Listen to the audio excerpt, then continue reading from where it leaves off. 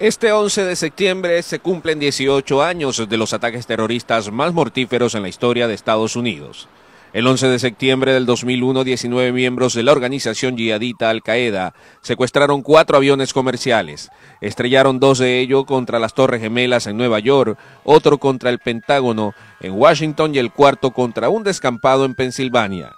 En total murieron 2.976 personas. Salimos a las calles y preguntamos a nuestra gente qué recuerda de este fatídico día.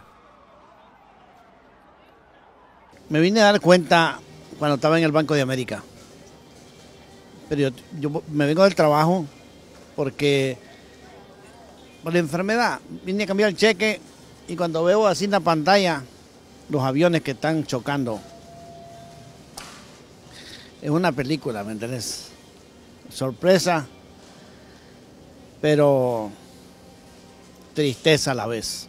Realmente no he estado aquí, pero recuerdo que eh, me encontraba en otro país, soy colombiano, y uh, muy triste ver cómo en ese momento se frustraba el sueño de muchas personas y cómo se lanzaban, ver, muy duro, muy duro, muy duro verlo y, yo pienso que las personas que tuvieron más uh, conexión con, con aquellas personas que vivieron ese instante, recuerdo un primo mío se salvó porque le habían cambiado de turno y mm, no, muy duro. Yo pienso que eso no, eso que vivirá por siempre en el recuerdo de todos aquellos que lo vimos y más los que lo sintieron y lo vivieron con sus eh, familiares.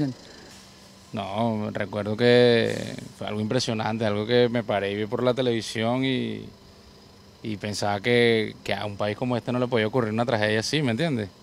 Y, o sea, que, que alguna persona se atreviera como que a atentar con, con algo tan importante aquí y valioso en Estados Unidos. Y, de verdad que fue sorprendente. No recuerdo tanto porque estaba, estaba más joven y no lo viví acá. Pues. Ese día yo estaba en la escuela, despacharon, nos fuimos todos a la casa, el mundo parecía que se estaba acabando.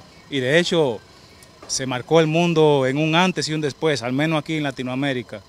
Y eso es lo que recuerdo, eh, hubo un gran cambio y recordamos ese día como algo sumamente doloroso porque de mi país, yo soy de la República Dominicana y murieron varias personas, tal vez no en la torre, pero sí en los aviones que cayeron después. Y es lo que recordamos, marcó la historia. Que fue muy horrible, la verdad, muy doloroso para todos. ¿Dónde estaba usted cuando eso? Aquí en Atlanta. Tenía como dos meses que venía llegando de ¿Qué México. estaba haciendo? ¿Qué, ¿Qué recuerda? ¿Cómo se enteró?